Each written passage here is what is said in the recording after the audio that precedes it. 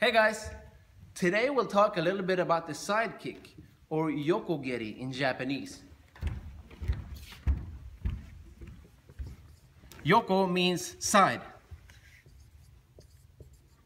Geri means, it actually means diarrhea. But if you put it after the word yoko, it becomes kick, so side kick.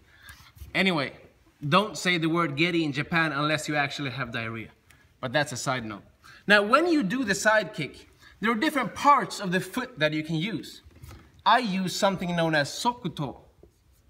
Sokuto. This is the Japanese character. Soku means foot, and to means sword or blade. It's kind of similar to the shuto, this part. Shu means hand. And this means, again, blade or sword. So sword hand, shuto, and this part of the foot, sokuto. so now that you know the part that you need to impact with, here's how you do it. and I will use this in a second. Step one of the side kick is to bring your knee up high. Then from here, you need to have some external hip rotation in your supporting leg. So look, one, bring it up high, and two, open up this leg, which allows full range of motion in your hips. Then from here, this is very important. Your heel needs to travel in a straight line towards the target. This way. It's very common that you see this when people do the side kick. Which is actually not a side kick, right? It's like a bad roundhouse kick or mawashigeri. So make sure that your leg travels in a straight line. To do that, you need to use this muscle, the biggest muscle on the human body. And since your muscles are elastic, the more you can bring it up this way, the more powerful your kick will be. It's like pulling a rubber band back and bam, releasing it for a high impact. And it doesn't matter what height you kick, it's the same principle. So you can do a high one, jodan, right? Or chudan or gedan. Same thing, bring your knee up high, twist to stretch this muscle, and then go down or up, up to you.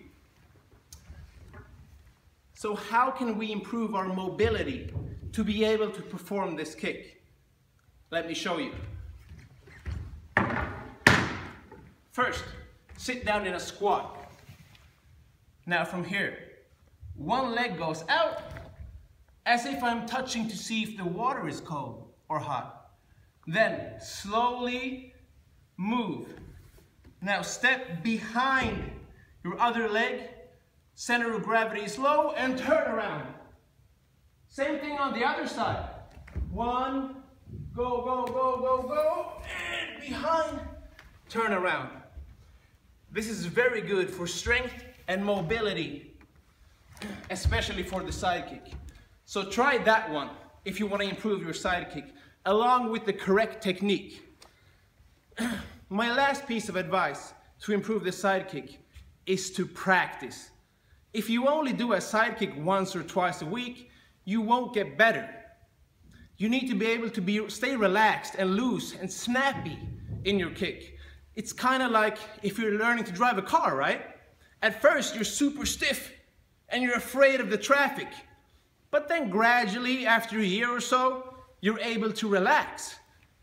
Suddenly, you can drive with one finger and talk on the phone. It's the exact same thing with the side kick.